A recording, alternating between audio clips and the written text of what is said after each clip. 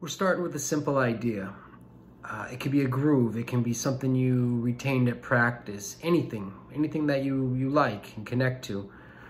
Um, this is something that I stumbled on two weeks ago when we were out of town. I recorded it on my phone at the kitchen table. And tonight what I'm doing is I'm just making a scratch track. Uh, you want to do something to a click so it's consistent. It doesn't have to be too elaborate.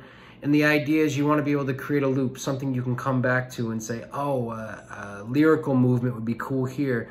Uh, what about cool bass part here? Or uh, what would a drummer think about this? How would this go? Something you can brainstorm on. And um, that's what we're doing tonight. So uh, that's step one. And then uh, you're going to be with us for step two. So get ready. enjoy.